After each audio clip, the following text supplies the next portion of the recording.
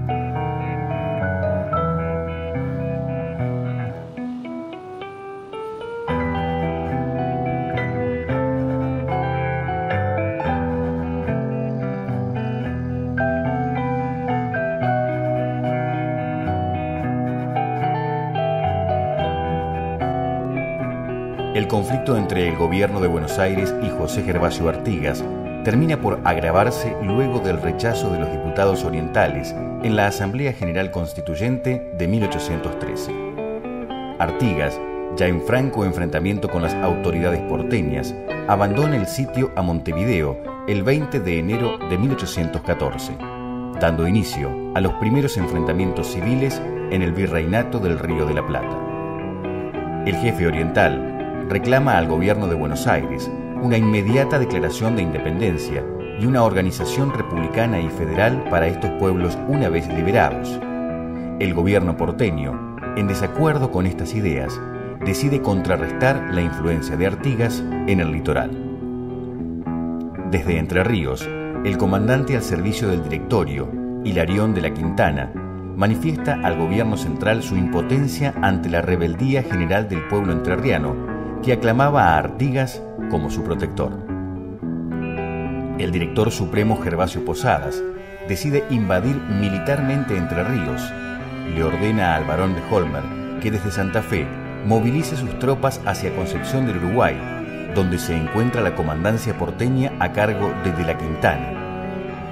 A su vez dispone que el teniente gobernador de todos los pueblos de Misiones descienda hacia allí y agrupen fuerzas para terminar con los rebeldes artiguistas. Advertido Artigas, organiza la resistencia. Sus fuerzas debían actuar simultáneamente e impedir la reunión de las tropas enemigas.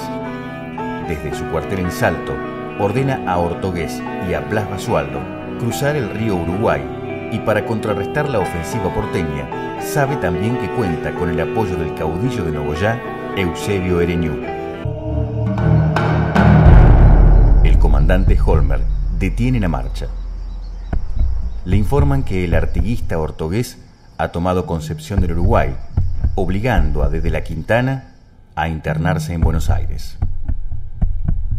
Debe retroceder, volver hacia la bajada, pero Eusebio Ereñú la ha tomado a sus espaldas y se dirige a su encuentro. El choque se produce a orillas del arroyo Espinillo, Entrerrianos y orientales se enfrentan con bravura a las fuerzas invasoras. Holmberg, en medio del fragor de la batalla, reconoce su precaria situación.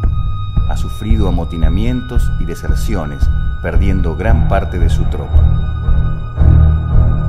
Después de encarnizado combate y ante la superioridad del contrario, debe capitular.